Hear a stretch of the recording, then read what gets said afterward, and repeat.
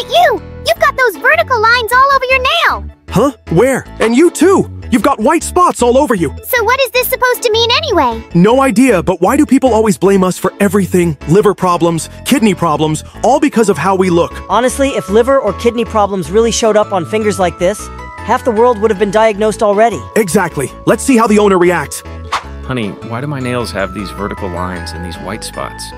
Does this actually mean something about my health? I've seen videos online saying it's liver or kidney problems. We should probably get it checked.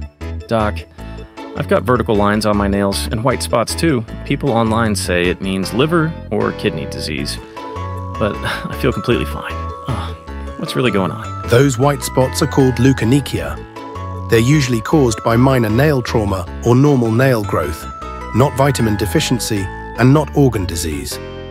Vertical lines on nails